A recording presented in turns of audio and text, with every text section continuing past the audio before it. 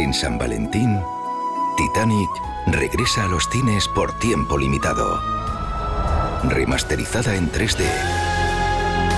Celebra el 25 aniversario de una historia de amor inolvidable. Ganar el pasaje, Rose, es lo mejor que me ha ocurrido jamás.